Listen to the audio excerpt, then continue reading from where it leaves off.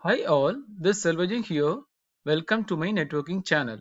And the purpose of the channel to cover from basic to advanced networking which includes the latest networking technologies. Please subscribe to my channel. Today the topic I am going to discuss is private VLAN. So what is VLAN? VLAN is logically segmenting a switch into multiple smaller broadcast domain. So private VLAN is used to restrict communication within a VLAN. So private VLAN partitions the layer 2 broadcast domain into multiple subdomains. Why private VLAN? Assume in a company there are 100 servers in an organization in such a way that the servers should not talk or communicate with each other. But all the servers should be able to access the internet. In such scenario, I have to implement private VLAN. So this is a private VLAN architecture. So I have connected four servers to the switch. Two servers are in community VLAN 101 and two servers are connected to isolated VLAN 102. So both this community and the isolated VLAN are collectively called as a secondary VLAN and VLAN connected to the router we call it as a primary VLAN that is VLAN 100. So the private VLANs are classified as primary VLAN and secondary VLANs. Secondary VLANs are further classified as isolated and community VLAN. Now let us discuss one by one.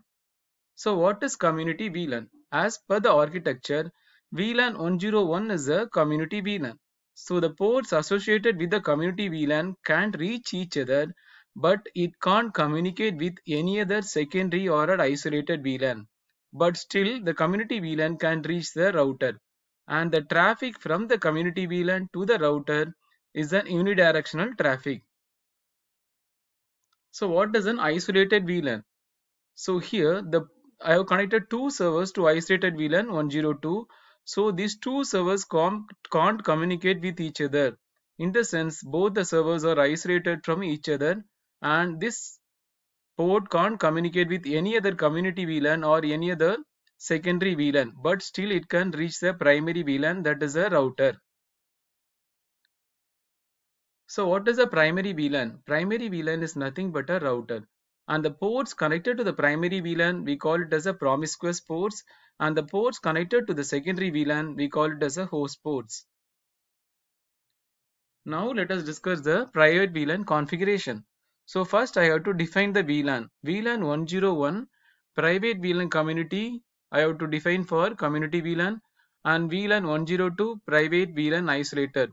This is for defining the isolated VLAN and again VLAN 100 is for primary VLAN followed by private VLAN primary and private VLAN association 101 comma 102 that is I am associating 101 and 102 to the primary VLAN.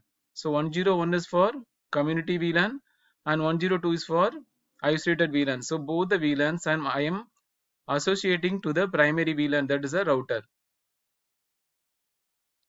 and again I have to configure the individual switch ports.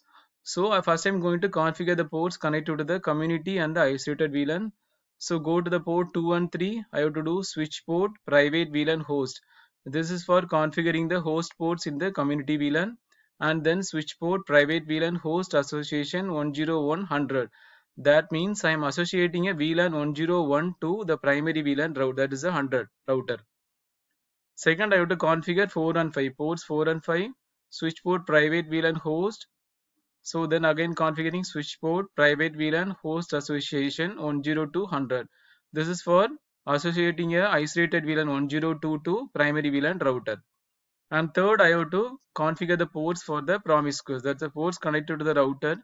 We call it as a promiscuous ports. So go to the interface mode, switch port mode private VLAN promiscuous then I have to do the mapping to both these VLAN. Switch port private VLAN mapping 100 to 101 and 102. So I am mapping the VLAN 100 that's the router primary VLAN to community VLAN 101 and isolated VLAN 102.